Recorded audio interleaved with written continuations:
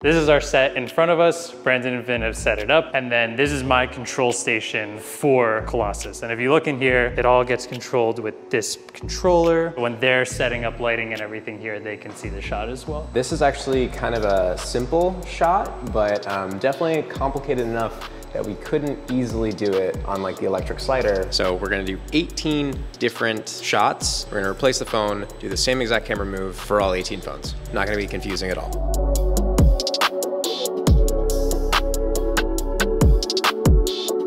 Guys, I am I am mind blown right now.